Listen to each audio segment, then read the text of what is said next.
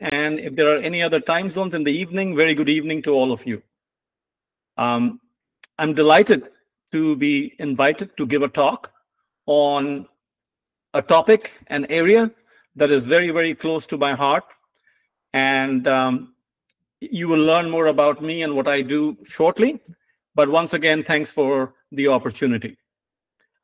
Um, I'll do my best to present information as fairly and as accurately as possible. But as is true for anything, there can always be errors. So please keep that in mind.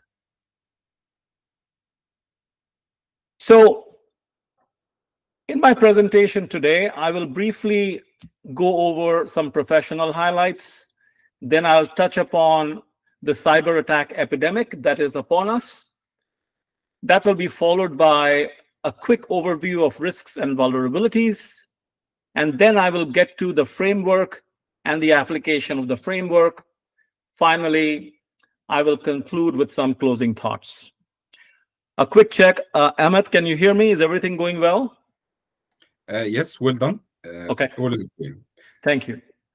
So, as Ahmed very kindly shared, um, I have been um, focusing on cybersecurity for over a decade now, alongside enterprise digitization. But in the big scheme of things, my research can be broadly described as strategic management of technologies. Cybersecurity governance, enterprise digitization are two research streams, if I may. I've been pursuing this research for over a decade, and in my role as a professor, an author, an editor, a speaker, a consultant, and a strategic advisor, I strive to offer as much value as I as I can because as you as we all know, this cybersecurity is a huge challenge out there, and we need people from different walks of life, from different disciplines to contribute it's not enough just for one educational domain or one type of expertise to address the cybersecurity challenge because there are so many aspects to that challenge. Once again, as Ahmed shared, I'm the author of Cybersecurity Readiness, a holistic and high performance approach. It's a SAGE publication. This is where I describe the framework with examples, with case studies, with uh, tools uh, that can be used to assess uh, the state of readiness of an organization. So there are some valuable resources that you might consider checking out. You can either get the book from the publisher or you can get it from Amazon. Uh, what you see now are the three articles um, um, that I'm sharing with you, um, which speak to some of the work I have been doing in the cybersecurity space. Of the three articles, uh, the article tit titled Calculated Risk, a Cybersecurity Evaluation Tool for SMEs, uh, has been listed as a most cited article uh, since 2020 in Business Horizons. You can purchase uh, the first two articles from the Harvard Business Publishing website. And then, of course, there is this Should Executives Go to Jail Over Cybersecurity, which I published a few years ago. You can get it from the Taylor and Francis website. Um, fairly recently, I also published these two articles, uh, Mission Critical, How the American Cancer Society Successfully and Securely Migrated to the Cloud During the Pandemic, and then um, wrote a piece on Preventing Security Breaches Must Start at the Top. And these, these have been published in um, a practitioner outlet called I by IMD. Many of you must have heard of IMD, the very well-known institution out of Lausanne, Switzerland. The Cybersecurity Readiness podcast series was launched in 2021 in the June in June 2021. I was um, one of my undergraduate students wanted me to do a podcast. I wasn't sure but because he was so persistent and he was so convincing, to just please him, I said, okay, I'll do eight episodes and that will be the end of it. But you know, in life, sometimes you don't know what you stumble upon. And that was the case here. uh, eight episodes is now, I have published 62 episodes.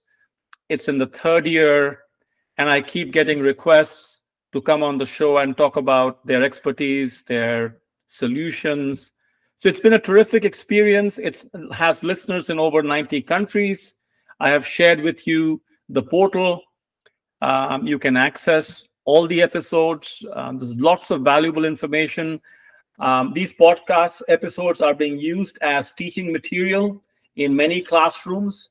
They're also being used as training material in many, many organizations. So I welcome you to access them, listen to them, provide feedback, subscribe, whatever you'd like. I think this is a, a resource for the global community. Um, and uh, it's it's a passion of mine. And this is how I'm able to stay abreast of what's going on in the world of cybersecurity because literally I get a guest every week uh, the guest could be a founder, the guest could be a CEO, the guest could be a chief security officer, um, and any other, you know, a variety of other subject matter experts who who come and talk about what they are doing in the field of cybersecurity, how is it valuable. I get a lot of nonprofit organizations also talking about their cybersecurity initiative. If you are interested in being a guest, feel free to reach out and I'll be happy to chat with you. Um, you know, being in academia is very hard to do work in with practice, but I'm a practitioner at heart. I call myself a practice-focused academic. I'm inspired by the work that I do that influences and hopefully transforms practice. So I've always found a way of staying connected with practice. And one of the ways was by being part of the Cybersecurity Leadership Council. And I also served on the cybersecurity SWAT team. And that allowed me access to practitioners who would come to me for strategic advice. And I found that also very enriching. That's another source of knowledge that I've had over the last several years. I'm very honored and grateful that similar to today, I get invited to deliver talks in academic and practitioner forums around the world. I think this probably would be my 75th or 76th talk of the last four or five years. And I learned so much when I get the opportunity to present before all types of audience. You know, cybersecurity is everybody's business. Everyone has a role to play in dealing with the cyber attack epidemic. So we cannot leave any group or any community out. We cannot say that, yes, if we have the security engineers, we will be in good shape. The engineers can are very important, but they can only do so much. We also have to involve the generalists. We have to raise the level of cybersecurity awareness to the point that we have to start educating our kids from kindergarten in fact, I have an episode coming up where a particular group will come and talk about their initiative of how they are trying to enhance cybersecurity awareness in the classroom from the very inception. So it has to become part of your mindset.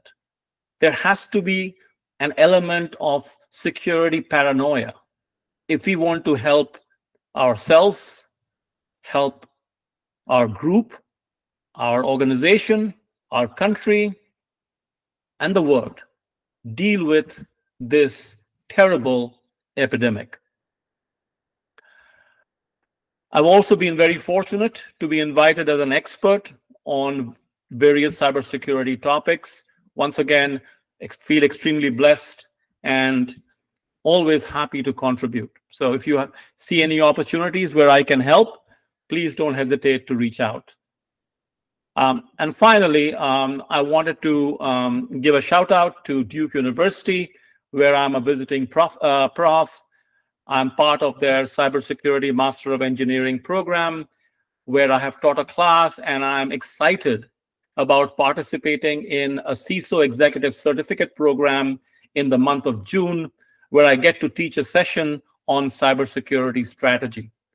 Uh, Duke has been very, very good to me. And I am very grateful, honored, and fortunate to be part of this fabulous institution. Finally, um, I'm a very active researcher. I have edited numerous cybersecurity articles. And one of the latest initiative is this call for papers, where I'm collaborating with my colleagues in the United Kingdom, um, where we are requesting papers on digital adoption, cyber risks, and value destruction in organizations. This is a special issue that will be published in the journal Information Systems Frontiers. So that's kind of the background, uh, and I hope you found that to be useful. Now let's talk a little bit about the cyber attack epidemic. And I'm sure that I will not be saying anything that is going to surprise you, but I'm saying it for a reason. And what's the reason? The reason is every time I check the numbers, they keep getting worse the number of crime, uh, cyber crimes, the cost of a data breach, the cyber insurance premiums that organizations have to buy or would like to buy. And now with more and more remote work, the challenge becomes even more, um, you know, unmanageable. Let's put it that way. And you know, talking about cyber insurance, it's a great thing to get cyber insurance but it is not easy to get cyber insurance. An insurance company will not um, will not provide coverage to an organization if the organization cannot prove to the insurance company that they have a certain level of cybersecurity readiness. And they also have to maintain that readiness if they want to keep being covered by the insurance. Even the cyber insurance industry, even that market, is a tough market and it'll collapse if organizations don't do their part in securing themselves and assume that, oh, I have insurance. It doesn't matter if I get breached. It absolutely matters. In fact, you will not have insurance if you don't do your part. So organizations will have to be self reliant. They can't just rely on external help and look the other way. As we all know, the impact of organizational data breaches has resulted in loss of revenue, drop in stock value, loss of potential business opportunities, loss of reputation. But you know something? It's the small and medium sized businesses who are comparatively resource starved. They are the ones that get hurt the most when they experience a cyber attack, a breach. The last time I checked the stats, 60% of small and medium sized businesses go under within six months of being hacked. And that's precisely why we wrote that article directed at SMEs, which has become very highly cited. Because I think we have touched a chord. We have touched a need that's out there. And I and I applaud ACFTI for making this resource available to the global community. So everybody can benefit benefit from it including organizations who don't can't afford you know the specialists let's put it that way. So at least some free resources can help guide these organizations to do the best they can from the standpoint of cybersecurity due diligence what is particularly concerning are the attacks on critical infrastructure. This is a global problem. Infrastructure of many, many nations are being compromised. I reside in the United States, so the examples are primarily from the US. In fact, once again, when I was updating the data here, I was absolutely appalled to learn from Christopher Wray's testimony how hackers are already entrenched in the civilian critical infrastructure, waiting to make their next move. So that's how vulnerable, ladies and gentlemen, we are as individuals, as a group, as an organization, as a nation, as a global society. And unfortunately, this epidemic is not going away. I believe this is a, an even worse epidemic than the pandemic that we experienced. The pandemic showed us that we were not prepared. We were caught napping. We were found to be reactive. And that's the other motivation for me to be out there, willing to share my two cents, whoever is willing to listen, because I don't want another catastrophe to happen, which can have even greater consequences than what we experienced because of a cyber breach. These are all possibilities, and unfortunately, some of them are realities today.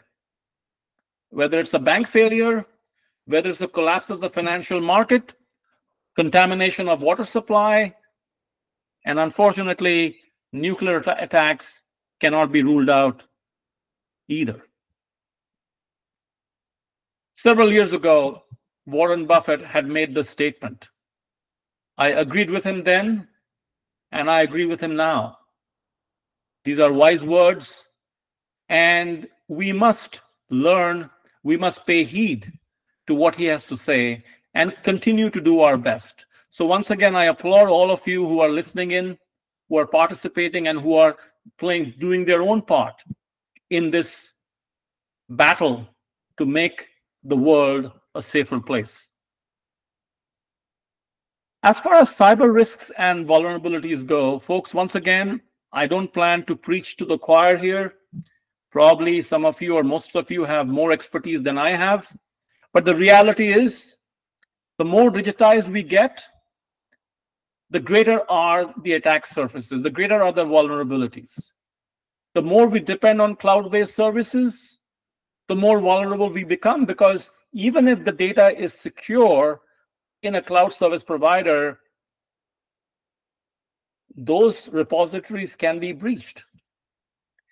In a highly, highly mobile work environment where organizations are allowing remote work while they have their protocols and their best practices, it's not always feasible for their employees to follow those protocols because they could be in environments where they don't have the secure connection and they're tempted to use any connection to get the work done. So that creates many more vulnerabilities. And then we have the Internet of Things devices and other smart devices. We take great pride in saying we have smart cities, we have smart appliances, we have smart hospitals. Hopefully, we recognize that there comes a price with that smartness. It's making us even more vulnerable. So, unless we are careful, bad things can happen. In fact, they are happening.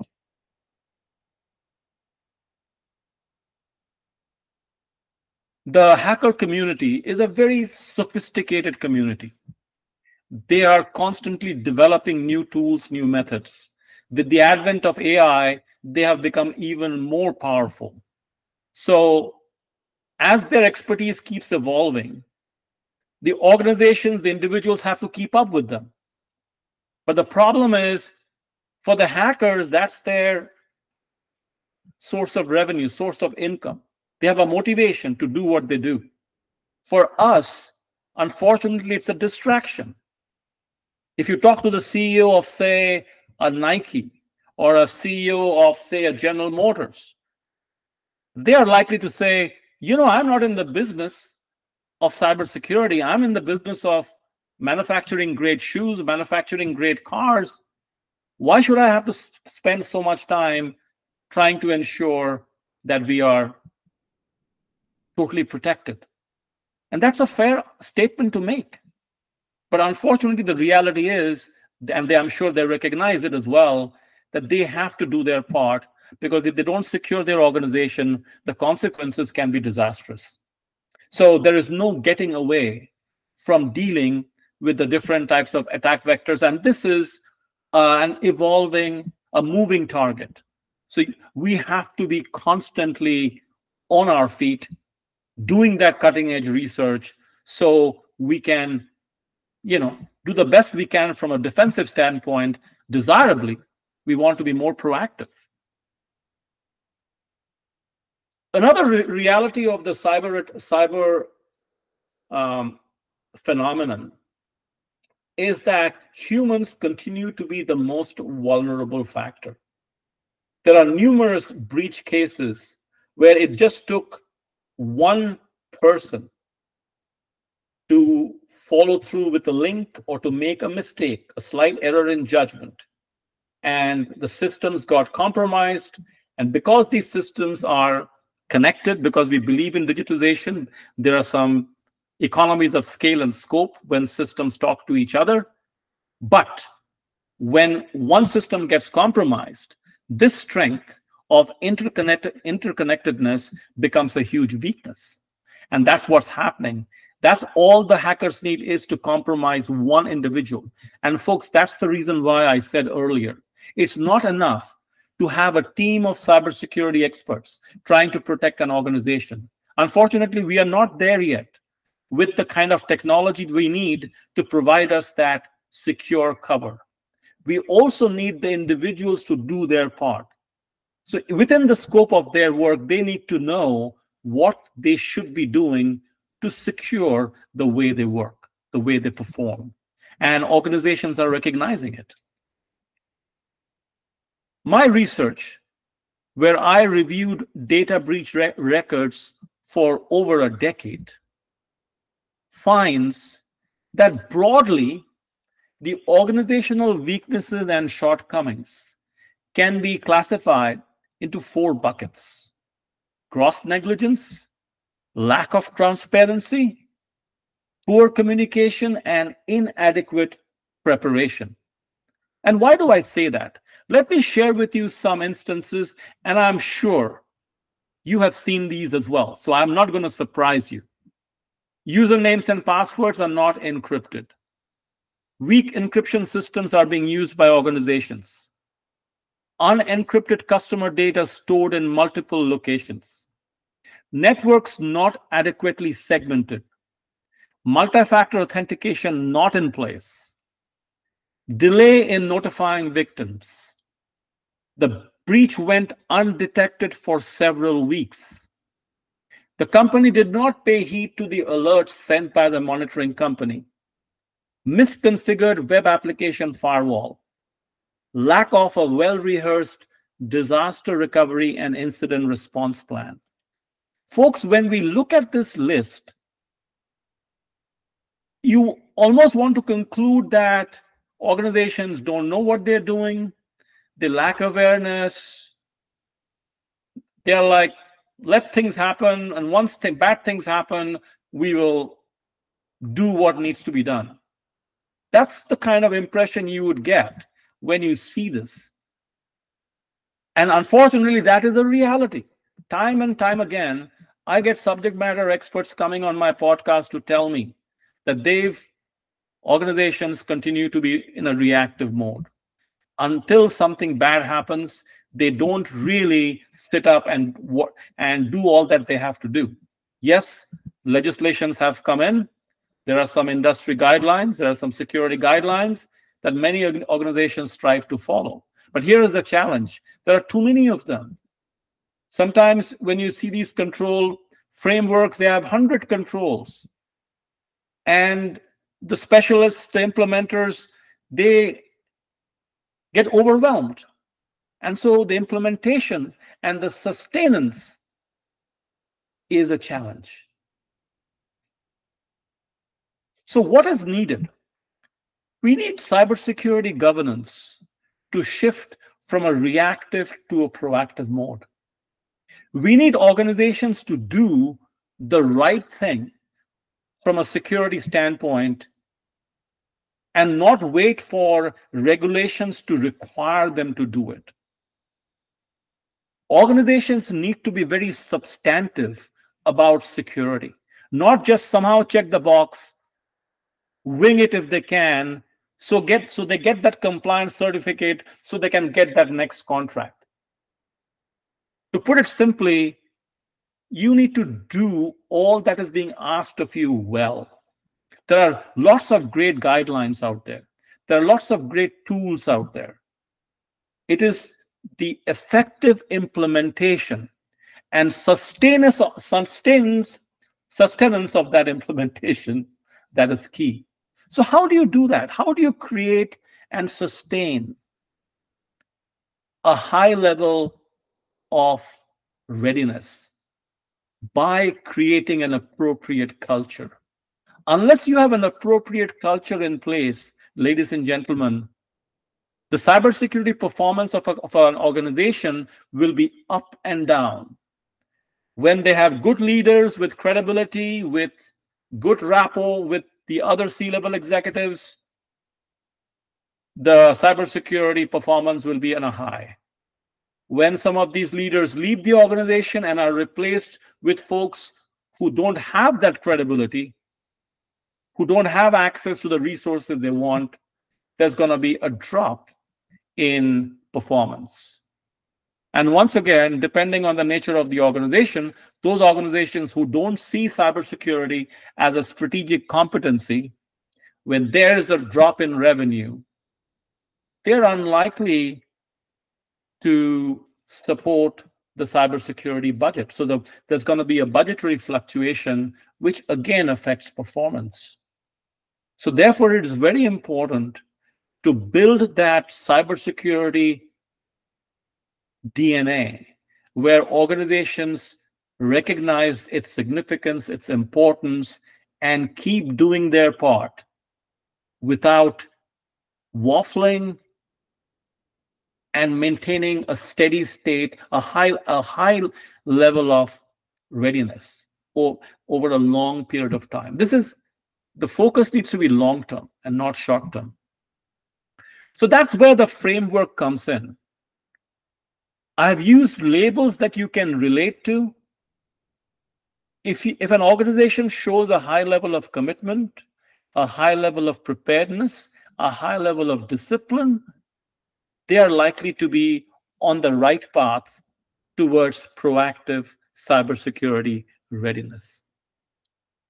So what's special about this framework? What makes it relatively unique and distinctive? It takes a holistic approach.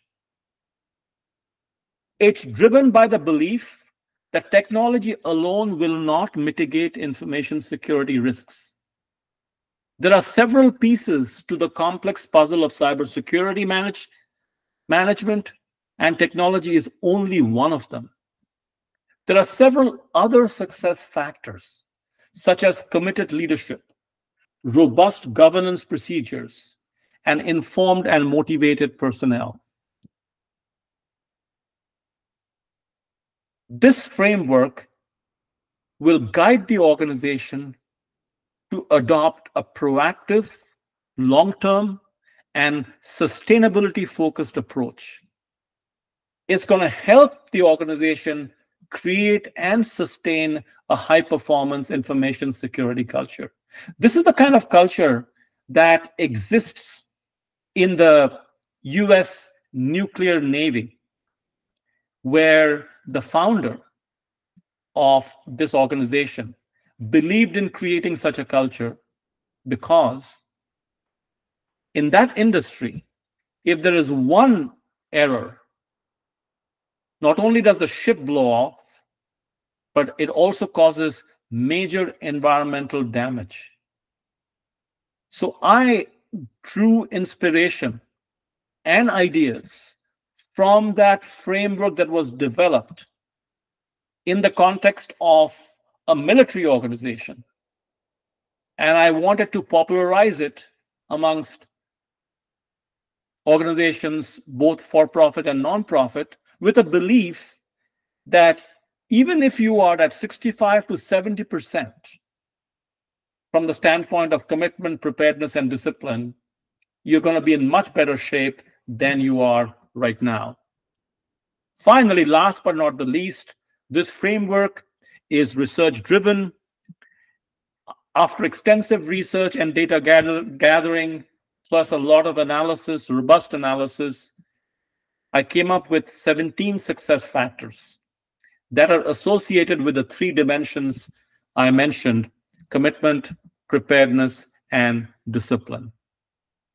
So here is a glimpse of the seven success factors that, that are associated with the commitment dimension.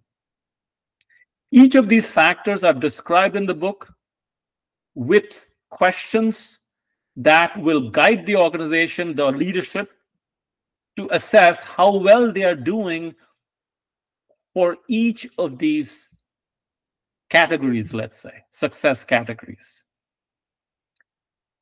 Then there is the preparedness dimension, which aligns with the popular frameworks out there, whether we're talking about NIST, whether we're talking about ISO 27001, whether we're talking about CIS. This dimension focuses on all the technical controls to help an organization identify the risks, prioritize risks, establish a defense in depth strategy, have sophisticated detection mechanisms, and also have structures in place to respond and recover as efficiently and effectively as possible. Finally, discipline. This is where the framework brings to light very important factors such as continuous monitoring. And it goes beyond that by suggesting that monitoring is not good enough. It has to be backed by prompt processing and action. Security audits and drills. Once again, the devil lies in the detail. The audits needs to be real time. Just like fire drills, organizations need to have security drills. So what the framework does, it provides guidance on how to do the different types of defense measures well. One more um, uh, success factor that I wanted to touch upon has to do with awareness and training, and I'll get to that shortly. Many organizations do awareness and training, but the question is, do they do it well? How customized is it? How immersive is it? How targeted is it? So once again, the question to ask is, yes, we have checked the box that we are doing cybersecurity awareness training, but are we doing it well? Are we assessing our performance properly? So therefore, the approach to cybersecurity readiness needs to be substantive. So as I said, the, my book provides a pragmatic and comprehensive guide. The feedback that I have received is that it's very intuitive and easy to follow. There are guiding questions for reflection, self-assessment, and validation. And then there are numerous examples that illustrate the applicability and value of the framework. Finally, I also provide you with a set of scorecards that serves as a self-assessment tool for organizations. For each of the 17 success factors, folks, there is a scorecard. So you, there will be 17 scorecards that you can use to assess how your organization is doing for each of those success factors. The data was gathered from primary and secondary sources. We used a multi-method approach. In-depth interviews were conducted with business leaders and subject matter experts. I was able to get insights across a variety of industries. And the analysis that I did was primarily qualitative using a tool called NVivo, using cluster analysis and so on and so forth. And I continue to gather data as I shared with you through the podcasts are a huge source of information, plus the research that I'm, I'm pursuing. So I haven't stopped enhancing this framework. It's a work in progress. And hopefully, you will find opportunities to further enhance the validity and robustness of the framework, modify it, improve upon it, you know, it's entirely up to you how you plan to use it. I hope you find it useful. Finally, I'd like to touch upon some of the highlights of the application of this framework. In the interest of time, I did talk about it already, but I'll run through them really quick. In the big scheme of things, folks, I think organizations should look at cybersecurity as a strategic opportunity. If they do a good job following the framework, it is likely that their cybersecurity competencies will be enhanced. And you can measure those competencies along the lines of proactiveness, resiliency, transparency, robustness, and awareness. And these competencies are likely to help organizations enhance their strategic capabilities, which in turn will have a positive impact on strategic outcomes. So what I'm trying to suggest is the leadership see cybersecurity as a strategic opportunity. That will motivate companies to take the right steps to build the competencies which will actually give them a leg up in competition. So instead of looking at cybersecurity as a pain, as a cost of doing business, let somebody else handle it, ha handle it. Why not embrace it? Take it as an opportunity, as a challenge, and make it your strength, which in turn will pay dividends. I think that kind of positive mindset is essential if we want to really make an impact when it comes to protecting the organization from the different types of attacks. So of the 17 success factors, folks, I'll touch upon a, a few really quick. Hands-on top management. Management has to actively engage. They have to take ownership and responsibility. They have to serve on governance teams. It's like the parents sending kids to a good school and saying, oh, I send my kids to a good school, my kids will turn out right. It doesn't work that way you also have to be hands-on, do the parenting if you care for your kids. So if the organization recognizes that cybersecurity is an important part of their value proposition, is or could become a strategic capability, they need to put in the time. And you can structure it in a manner and a fashion where you're not having to devote your entire time to this. So I'm not trying to suggest the leadership give up their roles and all focus on cyber, I'm saying find a mechanism, find a structure whereby you stay plugged in, you are aware what the company's strengths are, what the company's weaknesses are, what steps are being taken to plug those weaknesses. And that can pay off big time in the long run. It's also important to work towards creating that cohesive culture where everyone will do their part.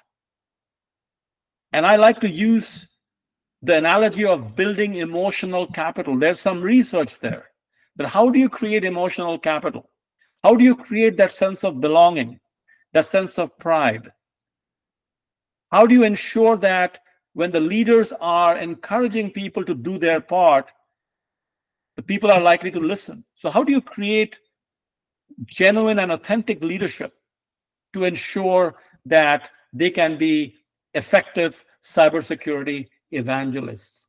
And finally, you've got to incentivize behavior. There has to be a motivation. In other words, in your performance evaluation, commitment to cybersecurity training, commitment to cybersecurity initiatives should be included. So there is also an incentive to, to keep cybersecurity at the back of their mind when they're doing their regular work. I'm very big on joint ownership and accountability. As I said earlier, cybersecurity is everybody's business. You can't just say, we have a cybersecurity team, we have a CISO. If something goes wrong, it's their problem. We're going to fire them and we're going to look good to the outside world. No, that's not a solution. That's symbolism. If you really want to make a meaningful change, a meaningful improvement in your cybersecurity posture, there has to be joint ownership and accountability. Everyone has to play their part. It is easier said than done, but even if an organization can take steps in this direction, it's better, that's better than just going back to that offshore, offshoring or outsourcing model. There's no problem seeking external expertise. But it has to be managed, it has to be complemented by internal commitment, cross functional commitment. We all know that CISOs should be present, they should be appointed. But do organizations do enough to appropriately empower them? Do organizations establish the right structure where the CISO function can monitor and report objectively? Those are the things that need to be thought. And these are not explicitly stated in the controls that are widely touted out there. These are the harder challenges. And that's the reason why you could check the box and say, we have a CISO, so we are doing the right thing. But how effective is the CISO? Have you empowered the CISO? That's why even if you check off the 99 controls, let's say, and you run into trouble, what's the reason? Is because you didn't go deeper into those controls. And that's where I think the framework helps. I'm not trying to suggest my framework is better than the others. I feel my framework complements the other frameworks, augments the other frameworks. And so I hope you give it due consideration. I mentioned this earlier. You must, organizations must treat cybersecurity as strategic investments and must have a plan to support these investments over the long run. This cannot be a stop, stop and start when I have the money, I'll invest. When I don't have the money, sorry, that kind of an ad hoc approach is not going to pay off in the long run. This is a problem that I hear over and over again. I was just doing an episode on securing application programming interfaces. And the subject matter expert says, Dr. Chatterjee, do you know companies are overwhelmed with the number of APIs they use to the point they don't even keep track of them. They don't even know whether all those APIs are robust or secure. And that's the problem. There is so much technology being used, but unless you keep track of them, unless you vet them, you are likely to leave open vulnerabilities and fall prey to different types of attacks. I talked about the defense in depth approach, which is a combination of physical, technical, and, and administrative controls. And that's you got to prioritize what you want to secure and then vigorously apply this approach to secure those digital assets. I even talked about awareness and training. It needs to be role based, it needs to be incremental and continuous, like Word, Wordle and Nerdle organizations should come up ways to make it fun. Don't try to teach uh, cybersecurity uh, in a huge workshop at one shot. Do it incrementally, almost on a daily basis. Maybe send an email with a quiz question, with a, fun question about cybersecurity, and slowly build up the knowledge and make it also fun and interesting. So a little bit of creativity needs to come into play as organizations strive to enhance the overall level of awareness. I can't emphasize enough the importance of backups and the importance of having a very effective retention strategy. As you all know, ransomware attackers go first for the backups. They know where to hit hard. And so keeping that in mind, organizations will have to be extra vigilant, extra careful in how they manage their backups, where they store it, and they need to rehearse and rehearse how to quickly recover from different types of attacks. It's not enough to have the plan in the books. you've got to practice it. I did an episode on tabletop exercises.